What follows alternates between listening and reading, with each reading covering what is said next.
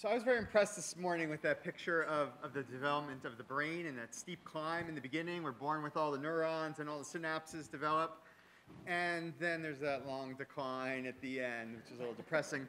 This panel is really thinking about what's going on with all those synapses with adolescence. And, and in, in three out of four cases with regard to formal school learning goals. And one of the things I want to point out by way of framing I study mathematics education research, and our goals as a society have advanced dramatically in what we want kids to be able to know and do in mathematics. Turn back 100 years ago, shopkeeper arithmetic was the common goal. Add, subtract, multiply, divide, you're good. Now we expect all kids to learn algebra. We want them to be able to make conjectures, to form arguments, to critique reasoning, to justify, to model with mathematics. And these are complex skills. And so this panel, in part, will be looking at kids, how kids learn with technology and how the technology may help them or challenge them in addressing some of the, in, in learning some of these complex skills. Our panelists are Naomi Baron, Mimi Ito, John Pane, and Jim Pellegrino. They'll shortly each introduce themselves, and they're going to talk without PowerPoint for about five minutes about their research and some of the issues and challenges as they see them. And we have, a, we have a, a plan for the session that involves them talking for five minutes each, discussion among the panel, and then we're going to involve our graphic facilitator, Peter. We're going to ask you as an audience to generate ideas and issues that you think should be part of this. And rather than addressing those one by one as question and answer, we're going to get them up as a kind of mind map and ask our panelists to discuss the mind map as it evolves.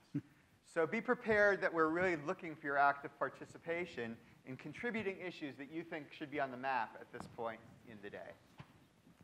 Okay, with that introduction, let me turn to Naomi to start us off, and we'll just go down and give us five minutes about your perspective. Thank you kindly.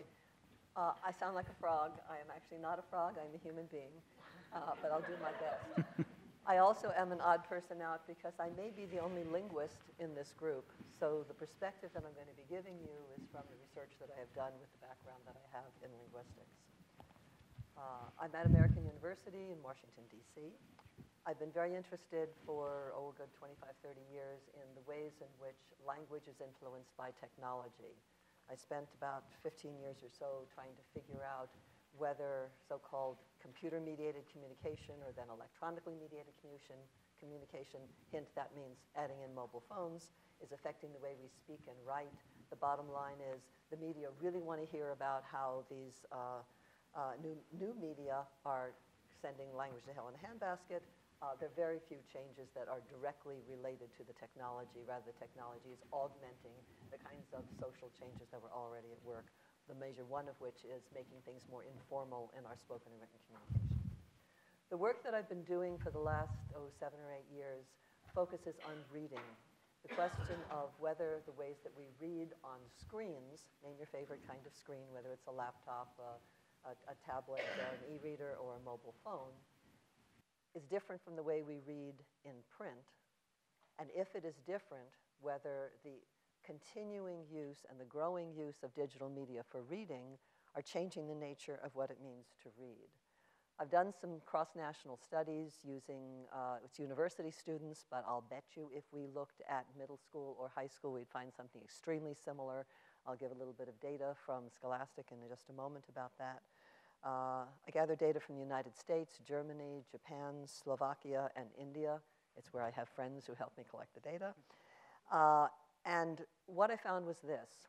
When I asked what is the medium, whether it's a screen or whether it is print, and I looked at all kinds of different screens, I could check whichever they want, the medium on which you concentrate best. Simple question, where do you concentrate best? When you average together all the countries, 92% of the students, and these were 18 to 24, 26 year olds, depending upon the country, 92% said, I concentrate best when I read in print. This is despite the fact that educators, such as my, at my university, work really hard to get students to read digitally. Similarly, I asked if the price were the same, because cost is one of the reasons that digital reading, think e-books, think e-textbooks in particular, the reason that electronic books have been growing so much in their usage. So I asked students if cost were the same, which medium would you prefer for reading? For reading for schoolwork, for reading for pleasure. And depending upon the country, somewhere between 89 and 90% of the students said, costs were the same, I go for print. Hmm, this is not what I anticipated finding. If something is long, they would prefer to read it in print. Short, we read a lot of short stuff on screens. That didn't seem to matter so much. Then I asked about multitasking, a topic that keeps arising and will arise more at this conference, uh, particularly in the United States. An enormous amount of multitasking when you are reading on a screen, less so when you're reading in print, although as one student wisely pointed out to me, I can have print but my phone next to me. Guess what? I can multitask. Okay, I said that there are other studies that are done with younger kids. Scholastic, the publisher, has done some studies roughly every two years uh, on kids and families and reading. And what they have basically found is if you look at 6 to 17 uh, year olds, they'll say they always believe they will be reading some print. Let me just talk a little bit, uh, two sentences, about the opportunities that I think digital reading has and some of the challenges. The opportunities are obviously democratization. There are a number of projects, particularly in so-called third world countries, think Africa or India in particular, uh, World Reader, which is making books electronically, but books available to people who don't have it via their mobile phones. Obviously, there are the convenience factors, the functionality. You can look things up on dictionary and so forth online. The major challenge that I see with digital reading, and the students tell me this, is they can't concentrate. They multitask, they go to a hyperlink, and then suddenly they're off somewhere else and their mind is not there. Uh, students tell me that print is real reading. Students tell me that it takes longer to read in print than it does to read online, even if it's the same number of words. And they tell me that print is boring because you don't always have these interruptions you do when you're reading digitally. Thank you. Hi, I'm Mimi Ito, and uh, just for the disciplinary diversity, we're the disciplinary diversity panel. I'm a cultural anthropologist, and I hang out with kids on the internet, play games with them, and try to really understand the online world, games, uh, mobile media from a youth perspective, uh, and trying to understand uh, both how they are creating innovative new practices, uh, living and learning uh, uh, in new ways, and I also try to translate that in ways that the grown-up world uh, might understand and appreciate. And uh, as, so I've done a lot, you know, large collaborative ethnographic studies of uh, young people and various forms of learning in largely recreational and social contexts. So, uh, you know, especially when I started the research, most of what was happening was in the out of school space. So we were really focused on that more uh, informal learning environment. Of course, that's changed uh, over the past uh, 10 years that I've been doing this research. And most recently, I'm chair of the MacArthur Foundation's Connected Learning Research Network, which is really trying to mine the, what we know about how young, uh, young people are living and learning with digital media and making it uh, a more productive focus for learning, education, and intergenerational connection. So just at a very high level, you know, the findings of my research uh, is, uh, you know, there's two things really that are kind of cross-cutting themes. One is uh, the fact that, you know, the, the dominant mode of learning for young people these days is really transitioning into this more informal, demand-driven, uh, network kind of learning that's happening in uh, a much more fluid, social, peer-based environment because they are growing up in an environment of absolute abundance, right, of information and social connection, which is a very different environment from when our educational institutions were founded, which were uh, premised on a theory of scarcity to these of these very things. So, uh, you know, the, the reality is that the, this, the dominant mode of more like in the moment, I Google it, I find a YouTube video, I connect with a friend. You know, this is how kids are learning. And that shift, that's shift has been really progressing quite dramatically during the years that I've been doing my research. And the related uh, finding is that there's a culture clash between the modes and institutions of learning that were perfected in a very different kind of information environment and the modes of learning that young people are immersed in today. And it's mirrored in not just our educational institutions, but a generation gap, which is something that Elizabeth alluded to, uh, between how adults and young people view the value of uh, their digital environments, where young people will generally say they see the internet as a lifeline to social connection and information, uh, where gaming is the dominant entertainment medium of our time, uh, you know, versus adults who even when more and more uh, grown-ups are using social media, uh, actually their suspicion and contempt for teen use of those same media have remained remarkably resilient despite the fact uh, that they may be using those same tools themselves. So I think uh, the, the um, moving to the opportunity piece with the connected learning model that we've been trying to develop, we're really trying to say what kind of things could we do to sort of work across this you know, contempt and hostility that we're seeing intergenerationally, because it comes from the kids too, right? They poo-poo the grown-up, use like grown-ups don't get it. You know, I read, wrote a 100-page fan fiction, but I'm not a writer, I'm not a reader. I mean, they've just, you know, it, it goes both ways that, you know, our connected learning model is really saying, look, there is this incredible opportunity here to uh, foster, uh, you know, learning that is student-centered, that's focused on young people's interests, that is supported socially, uh, if we can get adults, and I think in the last panel too, some really great examples like what Lynn was suggesting, uh, to actually listen, engage, be part of that world. And you know, we have some really great examples of how kids, whether it's through gaming or fandom or other kinds of youth interests that are activated online, are uh, able to connect that to their career opportunity, their schooling, and so on. And um, I'll end with just my cautionary note, which is, you know, I think the biggest risk out there is really a question of equity. So we're living in a world of personalization where young people's experiences of this environment are radically divergent and getting more and more divergent. And they're stratifying, at least in terms of learning, around really predictable forms of social economic inequity where, you know, the kids who are creative class kids who are fully supported and blah, blah, blah in progressive schools, they have superpowers right now. And the kids who aren't, it is a form of distraction or, you know, it's, it, it can be a, you know, a detraction from learning and opportunity and so on. Uh, and that's a really gross generalization, but the fundamental thing is that we can't make blanket statements anymore about the effects of media on children. We just can't, because the world, the way that they can navigate these worlds, personalize them, and customize them are so varied.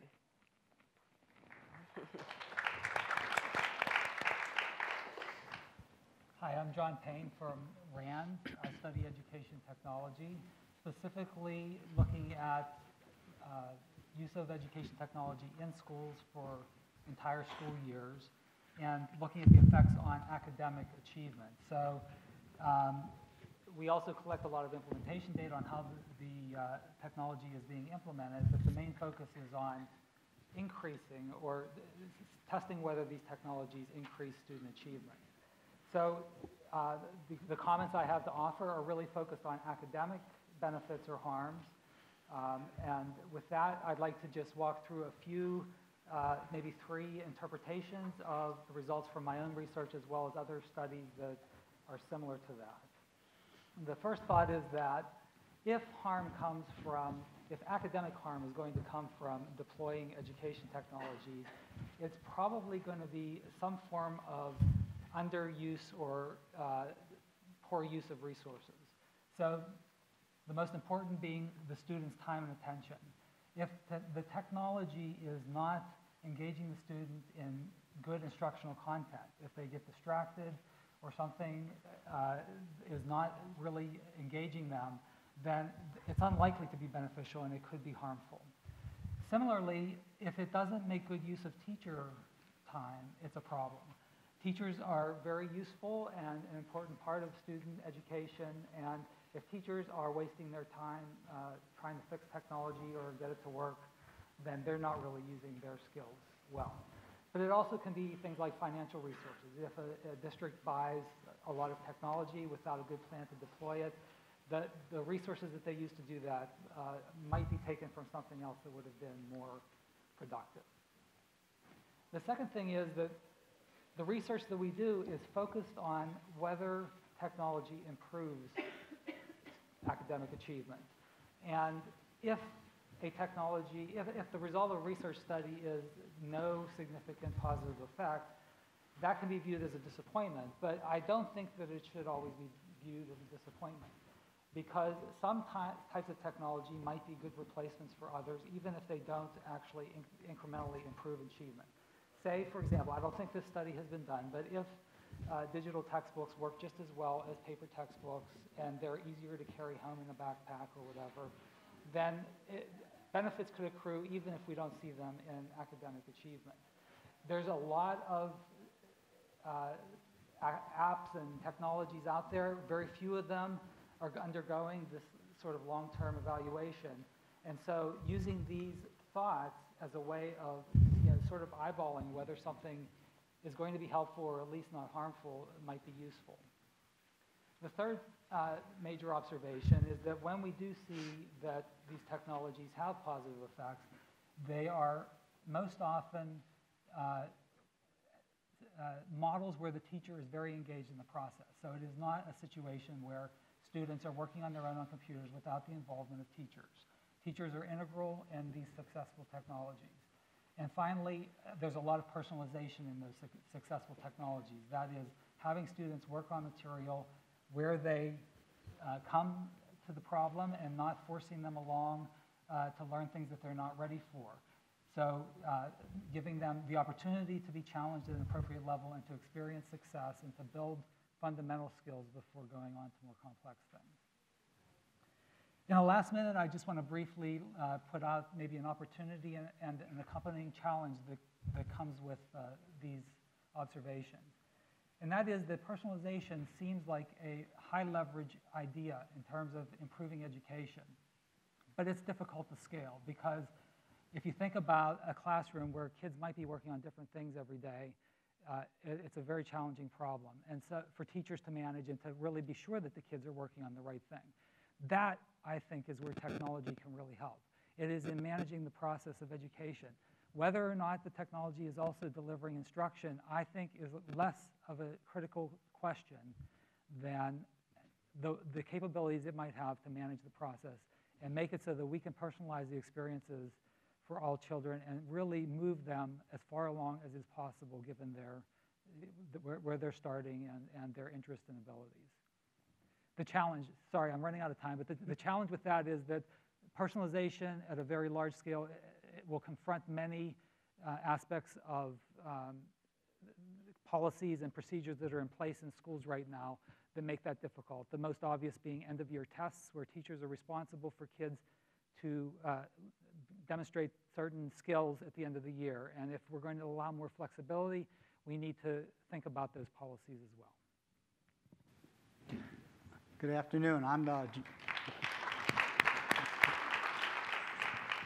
uh, I'm Jim Pellegrino from uh, the University of Illinois at Chicago. I'm a cognitive psychologist and I co-direct the Learning Sciences Research Institute uh, at UIC. Um, and I think my comments will sort of connect with uh, John's in terms of some of the issues about technology and media use in schools. First, I think one of the things is, is to realize that there's tremendous inequities out there in, in addition to a very big disconnect between the technologies that kids have access to outside of school and in home and the technologies that actually get used in school and the distribution of that across demographic groups in schools. So we have a, a, a, a very big challenge, which is um, when we think about what technology and media can do, which I'll say, talk about in a minute, um, we, we actually see a sort of increase in inequities in terms of the out, potential outcomes of education. Now, I, I tend to study things in the area of STEM education. I've been working in mathematics and science education, both curriculum and instruction, and the assessment side including the, you know, the, the dreaded large-scale assessments. I don't, I don't develop them, but I advise groups that are trying to do better by them. Let me put it that way, and I'll comment about assessment uh, as part of this.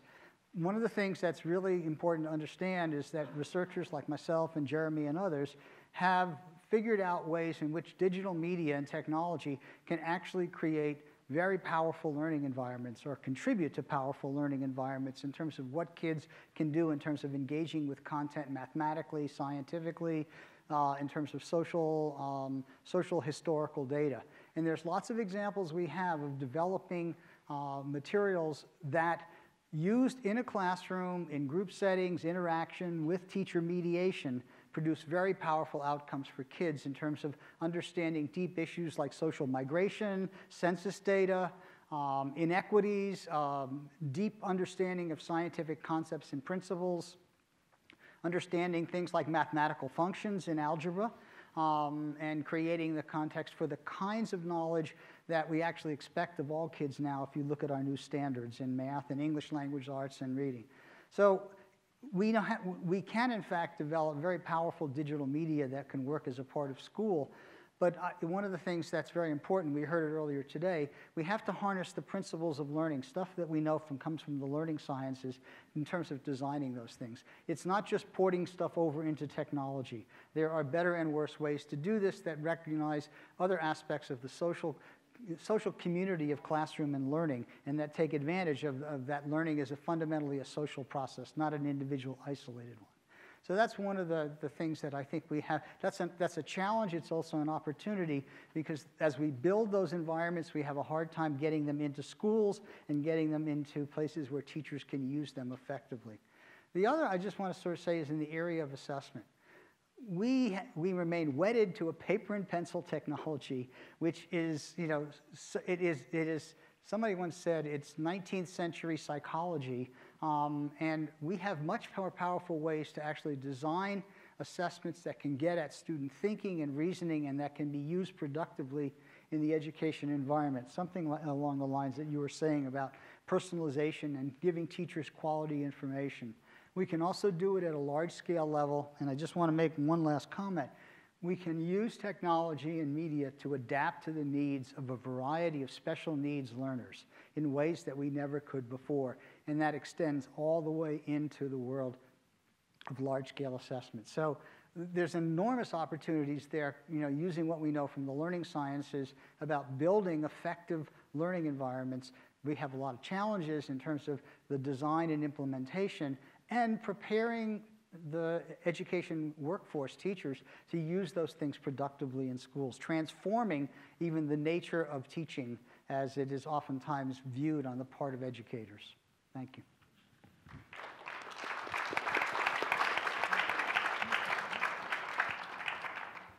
So I'll ask a few questions of the panel, and then we're going to open it up, as we mm-hmm. mentioned, to all of you. You know, each in your own way, I think you mentioned something about what kids have outside school and what they have inside school. Are, they, are kids experiencing disconnects or connections between these? What do you think school leaders need to know about the kids as they go back and forth across these boundaries? What do they need to know about technology and about kids? Uh, let me start with that, with the other hat that I wear. I run a Center for Teaching, Research, and Learning, and we're trying to figure out to what extent is using technology in all aspects of our curriculum the right thing to do, the wrong thing to do. What students often tell us is just because we're on our devices all the time, including in your class when you're lecturing or we're doing group work or whatever it is, doesn't mean we necessarily want to be doing that in class. Mm-hmm. Just because I use Facebook or I use WhatsApp doesn't mean I want you to be using it with me. so the kind of conversation that needs to take place, and it's really got to happen, and I'm speaking from a university perspective, but my guess is the same is going to be true at least in high schools and maybe middle schools as well, is to have that kind of conversation between the teacher and the students to say, how are we going to communicate? What kinds of things do you want to do? What kinds of things do you not want to do? Because there will be some differences from class to class, from subject area to subject area. But we have assumed that there's a kind of one model fits all. You allow classrooms to have laptops, you don't allow them to have it, whatever the case may mm-hmm. be. And it's much more specialized to that particular class. Anyone here who's ever taught the same class in two sections in the same semester and seen the different people, it's a different yeah. dynamic. I think we need to take that lesson to heart with regard to technology. Yeah, I would really build on that. And, you know, when I talk to, whether it's educators or parents, you know, it's really not about bringing the technology into the classroom. It's about recognizing the tremendously new opportunities for learning that exist outside of the classroom and leveraging those.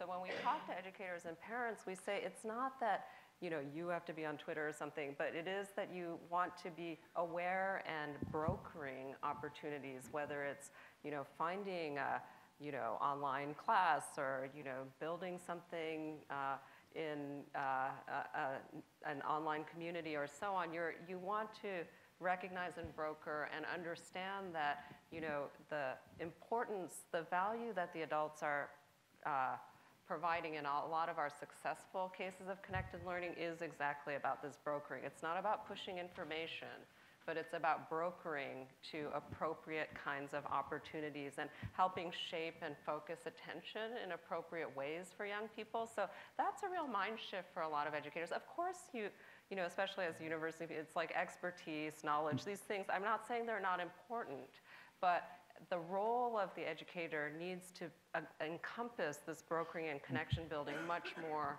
and has probably less of an emphasis in the era of the MOOC and the flipped classroom in delivering expertise. And so that's something that we talk about, you know, a lot of, it's not baked into the educational mission of a lot of programs, this kind of brokering role. Uh, and then the second thing I'll say is, you know, I think this uh, speaks to some of what we heard in the earlier panel too, but I do think that there are different kinds of capacities that we have to foster in young people in order to thrive in the digital age. So they need to uh, develop the capacity for self-regulation, for wise learning choices, for being able to be mindful and attentive in appropriate ways. And it's actually counterproductive, some of the institutional strategies which were uh, which are focused on the sort of external, institutionalized, adult-driven regulation and control, actually doesn't help kids develop those capacities, right? Like it, it can be very well-meaning, but you know they have to learn to control and regulate themselves. And I don't think we have that emphasis either in our parenting or in our educational institutions to really say, look, you know, they've got to learn really early how to manage their identity in public. They have to learn to turn things off. Uh, they have to learn how to self regulate, how to manage these very complex kinds of social relationships that they're having access to much earlier in life. And, you know, I'm a parent, I'm an educator, and I don't think we've been doing a good job of that. Do you guys want to talk more to that, or is that enough on that topic? There's just one thing I wanted to add. I, among, you know, kids are, are, you know, a swim in a sea of media and, and sources. So, you know, and, and they can Google anything. But one of the things that we can do uh, as parents, as grandparents, and, and as educators is, is help them in the context of some of the things we want them to use the media and the technology for, for, for school activities is to be critical analytic consumers of information, to learn to make judgments. And that's a part of this, Yeah. th- this regulatory process, realizing that now that you have so much access to so much information, what's good information, what's credible information, how do you adopt a stance that uh, helps you become really an intelligent consumer of the many, many messages that are being thrown at you by advertisers or whoever, including the nature of what's a persuasive argument and what's a legitimate argument, what's an evidence based argument. Great. One of the, You've got a hand here. go ahead. I was just going to say along that same vein, that one of the things we've seen kids, um, we talk a, talk a lot about teaching kids how to be sort of um, constructively critical uh, consumers and skepticism and all that. But we uh, see a lot of errors in how they interpret social behaviors online too. So for example, a tendency to over-interpret behaviors. If somebody uh, tags three friends in a photo and they don't tag the fourth person, then it's a deliberate social slight. You know, if it's two seventh grade girls, it's like the beginning of World War III. And, uh, you know, teaching them how to think about how, how the, that not every act is, is deliberate and, you know, it- it- being skeptical in that way. Um, you know, we see very much the same thing. It's like the same kind of error, it's just in a different context. So I wanted to ask about the, the kinds of things we want to see kids doing with media. You know, we, we heard some examples of, of tasks which are maybe not so good for kids mm-hmm. earlier and throughout the day, like maybe watching something passively is less good. And we saw some nice examples of maybe just, just a glimpse of kids moving blocks along an iPad, maybe that's better. But what kind of tasks should we be asking our children to do with technology that would really advance deep learning goals, especially as they're adolescents? What can they do that would be productive use of their time with technology? Well, in the case of the technologies that, that we're studying, in in particular the personalized learning strategies, as kids become older, I'm not sure this applies to, to very young kids, but having them take a little bit more uh, control over what they're going to do on a given day. If there's a set of things that they need to learn, giving them more agency and choosing that, and maybe even choosing if there are several instructional options available to, to pick among those, could really get them more involved. You know, these systems collect a lot of data that, as Jim mentioned, can be uh, very useful to the teacher to understand how kids are doing, which kids are experiencing similar problems. But that data can also be shared with the child so that they can see how they're doing and start to see how they're growing and, the, the gratification that comes with uh, seeing that success.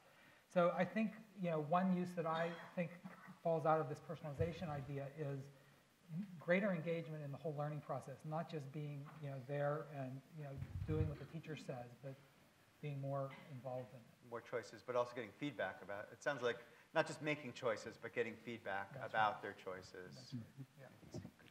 Well, you know, we, we talk a lot in the current literature about 21st century skills, problem solving, critical thinking, collaboration, uh, media literacy, et cetera. And one of the things that we have to recognize is where do you develop those skills? And, and in- in essence, one of the issues is you develop those skills in some rich content-based problems and situations.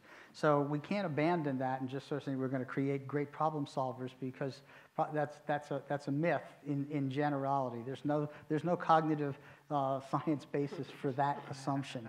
Um, but, but the point I want to get at is, is that what, what technology and media can do is to create environments that engage kids in the kinds of rich thinking and argumentation and looking at evidence and, and constructing um, productive arguments with each other about why something might be a better answer and engage in that kind of collaborative critical thinking and problem solving in the context of the kinds of, of, uh, of things that are represented in the current standards. And that's true in science. You know, Jeremy, back in the 90s, we did that in, in a thing called The Adventures of Jasper Woodbury. Right. Uh, we actually used video media to create what some people call the world's biggest word problem. Um, we all hated word problems, right? Uh, it's the dreaded thing. But, but it's because that's the way we've taught mathematics problem solving, and it doesn't work. But if you, cre- if you create an interesting problem context, kids will be engaged, they will work individually and in groups, they will solve a very complicated problem, and then be willing to show what they've learned to, to adults. Um, and, and so we can create the kind of environments that foster the very skills that we're talking about in terms of this argument about 21st century competencies. Yeah, and just, just to build on that, I mean, you mentioned the sort of social give and take that happens when people work on complex problems together. So one of the leading indicators that I look at is, and this is specific to the teen group, so I'll, I'll uh, with that caveat, is whether they are, uh, you know, in their online lives, whether they are participating or becoming involved in affinity groups that really value learning and expertise. So there's a lot of ways that kids can participate online.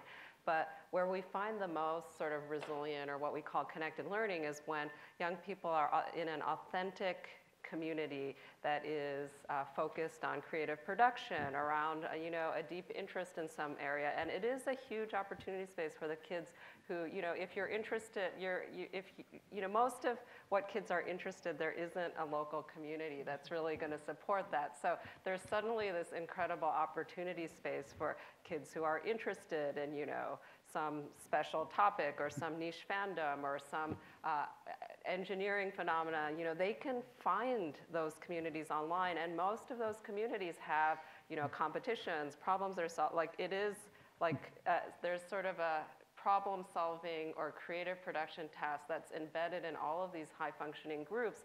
And we have them as professionals, right? We have our affinity networks and we learn from our peers and we get pushed by peers who are fellow experts and pushing at us, and they want that experience too. And the internet has really expanded that opportunity space for kids. We'll Go on to the other question. Okay, good. Yeah. So wh- what we'd like to do at this point, actually, is we're going to uh, take a break from this format. I'd like you to take a moment to turn to people near you and think about what, what is being talked about here, but also what you've heard during the day. And let's just name some issues that we want to get on a board for further discussion.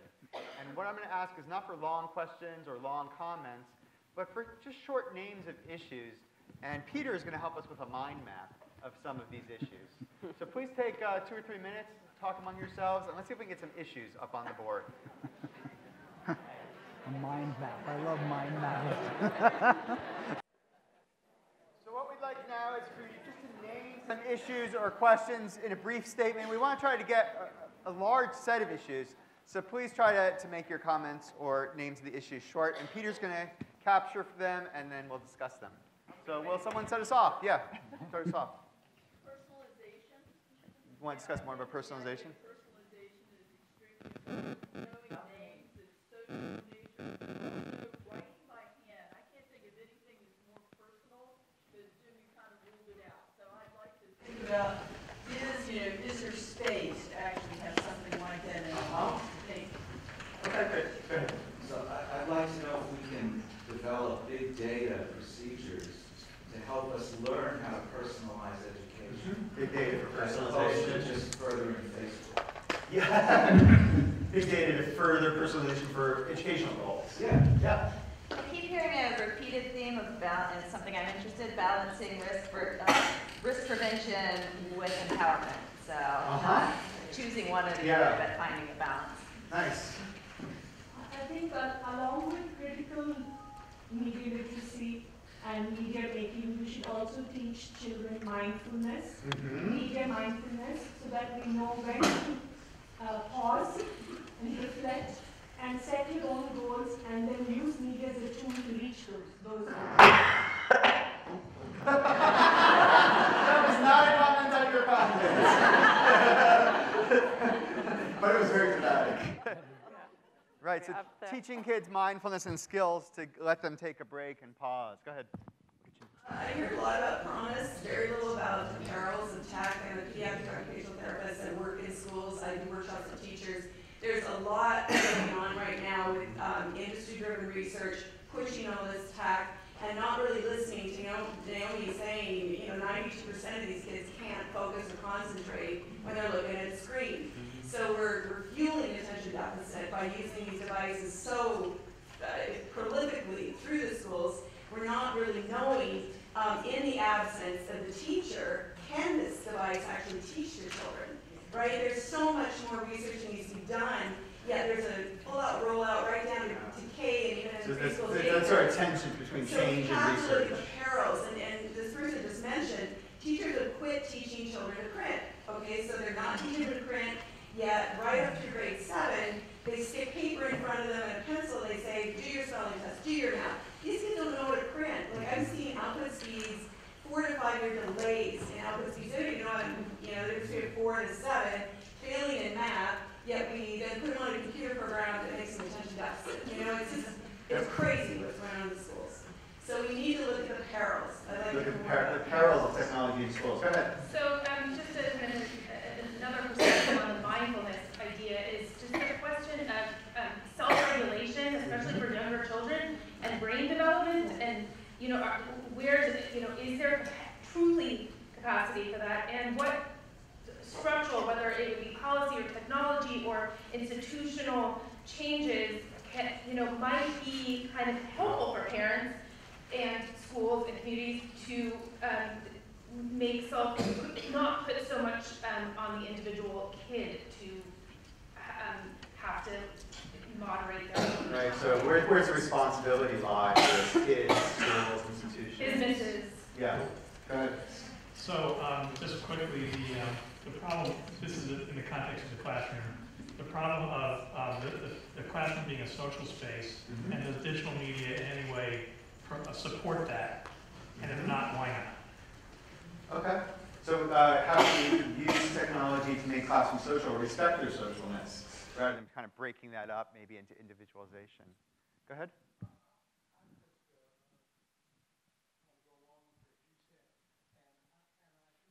I think one of the things that we're missing is as we change schools along this digital model, where is the place for role modeling, for teachers to be role modeling? Where is the place for, uh, for attachment? I mean, some of my most visited experiences going through school was one teacher or two teachers that I, I formed a relationship or had an experience watching them and learned, learned so much that isn't going to be easily academically uh, testable, but is something that uh, was a valuable experience for shaping the kinds of person that I am eventually became. Where is So the teachers, this? teachers as role models, and what, what roles are they modeling? And When they role model. attachment, and Go ahead. attachment. Something about deep at risk, we're talking about self-control and the different tasks that children need to know how to do to face this media onslaught, and yet those who are at greatest risk are those who have the least amount of self-control. Right. And we're putting all of the conversation on parents, what parents can do, and yet those youth typically do not have parents available to help them with those skills. So what can we do in advocacy to really help that risk youth, rather Yeah. than counting on parents at home? So equity and at-risk youth, and how do they develop self-regulation skills? Go ahead. Um, piggyback on what she said, um, I work in the tech industry. Um, things like social media or Facebook, we're, we're treating them as like static things that just exist and are not changing, as opposed to they're constantly evolving. They're mediums in and of themselves. Um, and we can ask for a different kind of medium than we're currently getting. Um, and I'd like to introduce the distinction that um, self-regulation or self-control puts all the responsibility on the consumer and ignores the fact that the incentives of every company in the attention economy is to maximize the amount of dismantlement of your self-control. If you scroll longer. Yeah. And unless we acknowledge that, we're, we're like ignoring power, right? Um, and so, actually, this is what I work on, I don't want to my mistake, but I work on basically a consumer movement where design ethics, or ethical or responsible design technology, just like organic was for food, we can ask for an organic version of technology, Right. responsible design, and according to the values that we have, that's what it comes from. Okay, thanks. So I, I want to just add to that to um, pick up on what was said in an earlier panel with regard to studying the industry. We are all being studied by the industry. They all know everything about us. Um, and I can only guess that there are enormous obstacles to studying the industry. And that would go hand in hand with then moving towards policy recommendations that would include recommendations for regulation. And I think that has to balance the efforts to teach um, critical thinking and media literacy and all the the rest, because we're dealing with powerful technologies and we've had to have um, policies in many other areas that have um, affected public health. And the last thing I'll, I'll say is that the term at risk is um, one that I think in general is um, misused and it tends to refer to groups of people that we don't say we're referring to. But I think that um, in this particular area, children of uh, families who uh, are of a high socioeconomic status are probably at risk in specific ways because um, those, their, parents may be very much consumed by digital technology and not available for parenting. And the final thing is in doing the research, I think there needs to be a standard that would be borrowed from the mistakes that have been made in the medical field where so much of research has been driven by the pharmaceutical industry, where we set forth Boundaries, consequences, disclosures. But it's a challenge because all of us are consumers of this technology. Yeah, I I do want to keep it just uh, issues, so let's go on. Go ahead. Um, just the idea of media mentors and mediated media use, um, I think, and the application of the principles of science of learning. And, and for the mediated me, uh, mentor to consider not just parents, not just educators, but also um, this is taken from Lisa, Lisa Guernsey's idea of sort of bringing in um, librarians as another resource of, of people who are actually trained in information Help broker information. and, for, and, and information brokers to sort of bring them into the um, educational space as well. Okay, let's get two more and then we'll have a discussion, so. uh, Can, can you get up and, uh, if you can, so everybody can Uh, hear? I think we need to understand much more deeply, and from a developmental science perspective, how and why interactive media is so compellingly motivated for good and bad reasons. I mean, we talk about the massive amount of usage, and the worry about the addiction, and the capacity to use this in positive ways. And I think we have lots of ideas and theories about how and why adaptive and motivational systems, but I think we need to understand that more deeply for both the good and bad reasons. So unpacking motivation, understanding motivation more deeply, and one more in the top. Okay, Yeah. um, I would put the phrase mind wandering up on the map because it is, you know, for, for two reasons. I mean, one is that in terms of learning, so, you know, or, um, or social and emotional development, et cetera, there's pretty good evidence that mind wandering is not just, you know, distraction. It's not, it's not self-evidently a bad thing. It actually can be, can have lots of positives. Um, and that the same things that erode our capacity, the, the same technologies that erode our capacity to attention to pay attention also erode our ability to engage in sort of task-independent inward thinking. And that so sort of improving the one um, can improve the other. Whether this is something you want to spend a lot of time doing in schools is, you know, there's, there is obviously a bias for action, you don't want kids to sort of zone out when you're trying to teach them stuff. But if you want them to be better people, if you want them to be more thoughtful, this is something not to, you know, run over. So. Thanks. So now I'm going to ask our panelists to have a look at this board, and maybe there's a cluster or a corner of the board that you'd like to comment on or dive more into where we could even speak to some of the issues that have been raised here. I, I've got two, and I'll start with mind wandering, and then if we want to wait, I'll do the other one. The issue with digital technologies, which can be extremely distracting, is when your mind wanders, it doesn't wander freely. By which I mean, it gloms onto the next thing to focus on. So to come back to the research that I've done on, uh, reading in, on, on digital screens versus reading in hard copy, part of the problem with reading on digital screens is they urge us to keep going.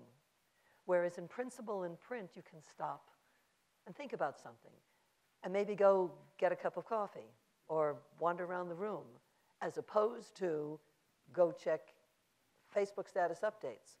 So I think part of the problem that, that we need to address in terms of how we teach people to do productive mind wandering is not to go to something that is structured, that takes up your mind, but to literally let your mind wander in the very best sense of the term.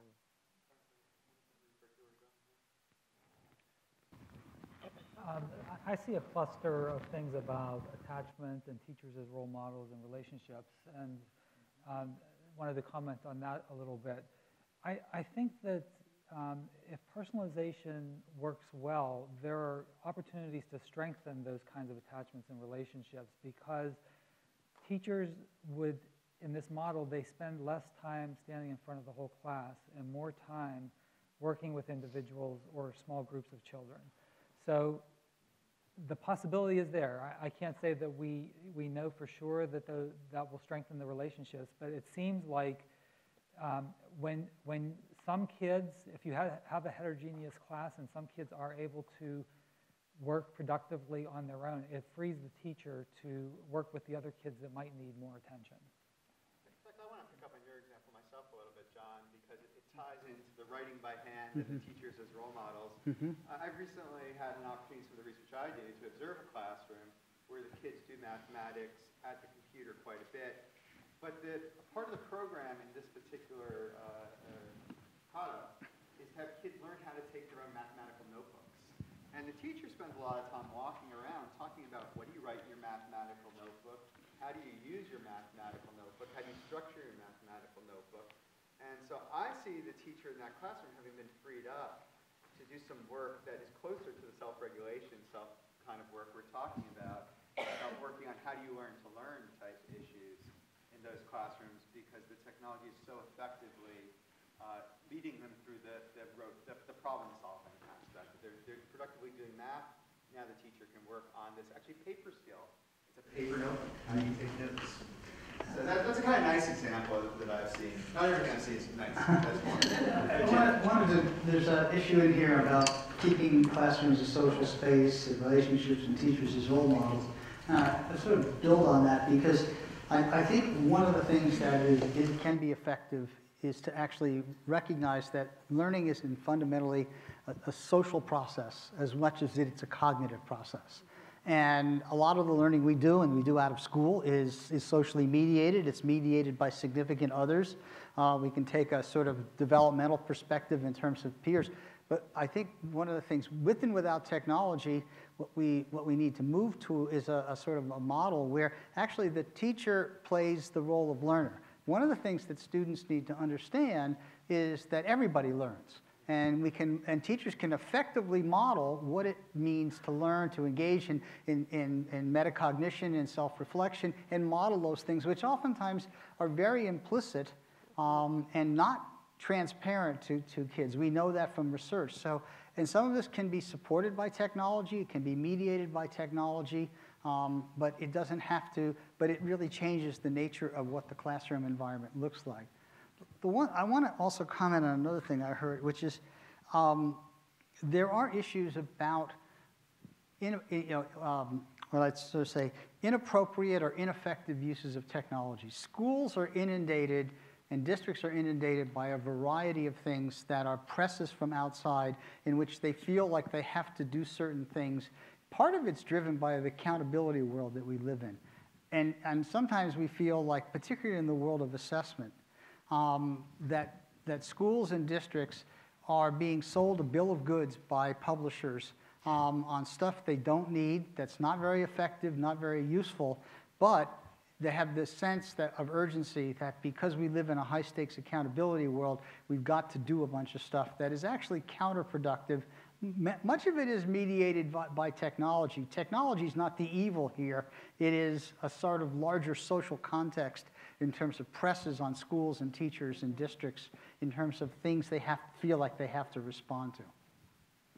Yeah, I'll just to jump off on that point and connect it to sort of the issues about the industry and the commercial sector, which I really appreciated. And, you know, I do think, uh, you know, there are a lot of ways that you could look at that, right? So there is the policy environment, there is, you know, it's very interesting to think of like an industry, responsible industry group, for example. Uh, you know, one of sort of my pet issues is really to get the tech industry to think about education as the business they're already in uh, versus like selling iPads to schools or you know, you know, a philanthropic, let's start a new school. So like games and social media, Google, these are learning platforms. They are the platforms that kids are learning in every day. But they're not framed as learning platforms within our social imagination. So, you know, if you think about something like Google or YouTube and how frequently all of us use it for our everyday learning, you know, there, there isn't a conversation. It's like Google has an education division that does teacher training on search and, you know, things that are in the sector that they define as education. And I think there's a whole conversation you can have that would be quite different, that is really about engaging with the core of the tech business and understanding, you know, the account of, not the responsibility, the social responsibility that, uh, you know, today's industry has in, you know, delivering learning experiences for people. And so, you know, we've been doing little things like working with Microsoft on, uh, you know, do, developing Minecraft mods and functionality that uh, fosters the more productive learning dimensions of that environment. You know, there's, uh, you know, we're, we've been in talks with platforms like DeviantArt and Wattpad, which are just amazing platforms for kids to publish their creative work. And look, you guys are in the business of education. You know, what would it take to make this easy for teachers to use? What would it uh, take to, you know, recognize some of the work that kids are doing on these platforms as educationally valuable? So I think there's a, a lot that can be done, which is about, you know, positive engagement as well as, you know, the important sort of regulatory, like reining in kind of work. Uh, I think we have to attack it from a lot of fronts. Could I pick up on the writing theme for a second? Uh, from a slightly different perspective. And I'd like to relate it to what we heard several times today about play. If you look at some of the methods of teaching young kids to write, rather than just put this implement in your hand, it's trace things on uh, in, sand or on sandpaper, and it's something that is very physically manipulable. Uh, part of the issue with where we're going, and this is a very now comparatively primitive version of technology, are you doing word processing as opposed to using your hand? Uh, part of the issue is our brains really are functioning very differently if we are inputting something that is already preformed as opposed to reform it ourselves. So there is a fair amount of research that's coming out now for young kids um, saying if you are forming letters by hand as opposed to um, touching them on an iPad, your reading speed is going to be faster, or your, your rate of learning to read is going to be faster um, by doing it by hand.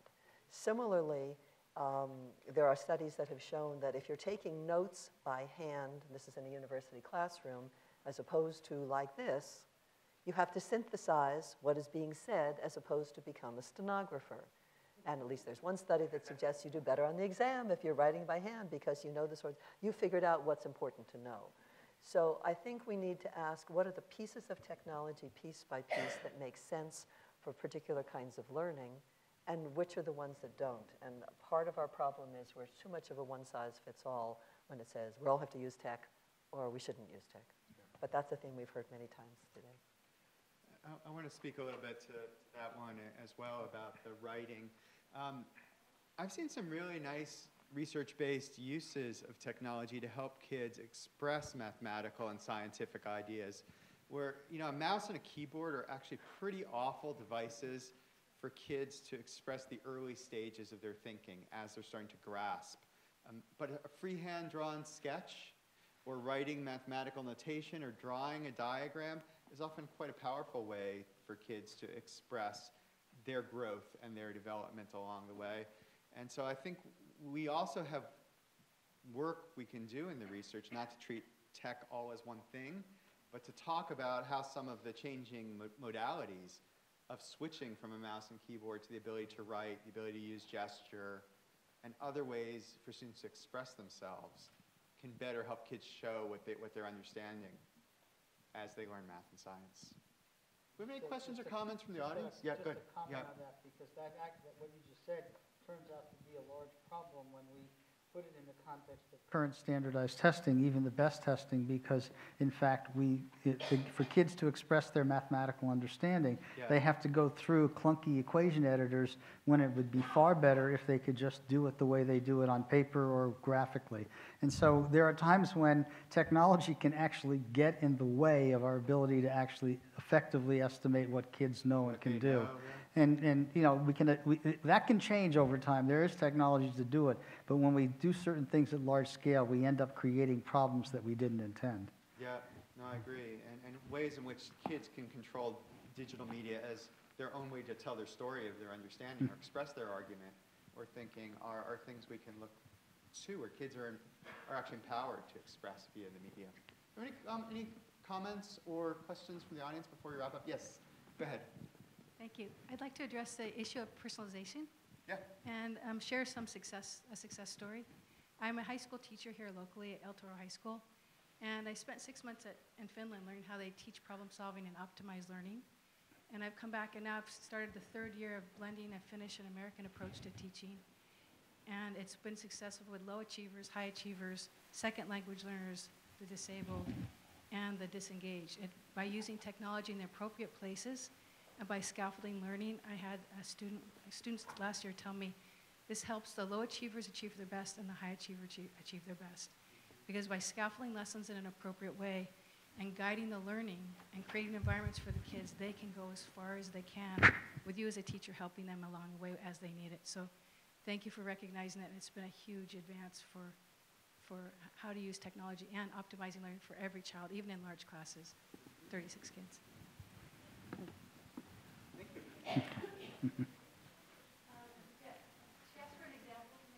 Sure, go ahead.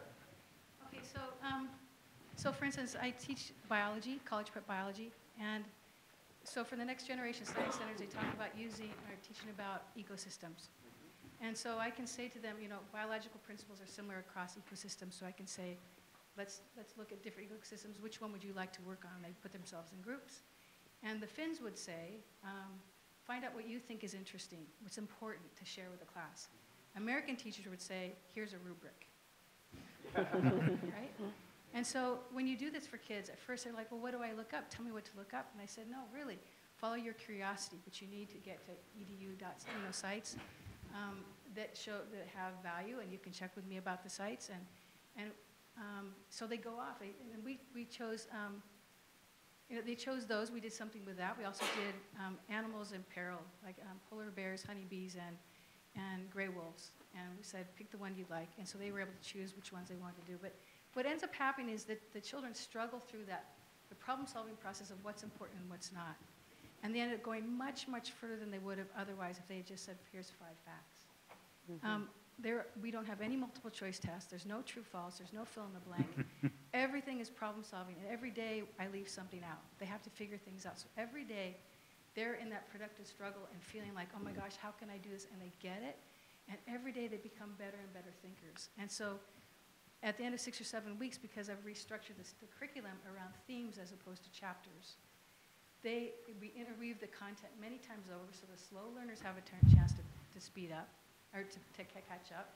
By the time there's assessment, they can write about, you know, their final is five pages of essay questions, where even the kids that have struggled with writing, even with dysgraphia or dyslexia, they can show me they understand the scientific concepts with giving data, by giving um, experimental results, by sharing the pros and cons, what works, what, what doesn't work, citing people that have done work in other areas. They, they really can come across as being real true thinkers. And so um, I just, so I want to say that I, I know that there are, there are pros and cons of technology, but I will say if, if we allow the, the, the thought about how to teach and how to learn and how to create environments to optimize student learning rather at the pace of the teaching and not around the test. It's like, let's re- rethink how we're doing this. Their results have been astounding. I mean, I just can't even tell you how beautiful it is to watch these kids who haven't been successful in school to turn around and become successful. And there's a, please use this analogy if you want to. I came up with the analogy of a high jump. What we do in American schools is oftentimes like, um, here's a high jump, right? Pretend it's a math class. Here's a high jump. By Friday, everyone has to jump over this high. And some kids jump over, some hit the bar, some go all underneath it. But by the next, next week, sorry, whatever you did, you get that grade. and the next week, we're raising the bar because someone outside my classroom said, this is the pace. And if you can't keep up, sorry, you keep failing. Well, some kids might be two weeks behind. In two weeks, they might even get it. And they could, I mean, if the goal is to learn, the pacing isn't important. Right? It's the scaffolding and the opportunities and how to build it. So um, thank you for letting me share. Thank you.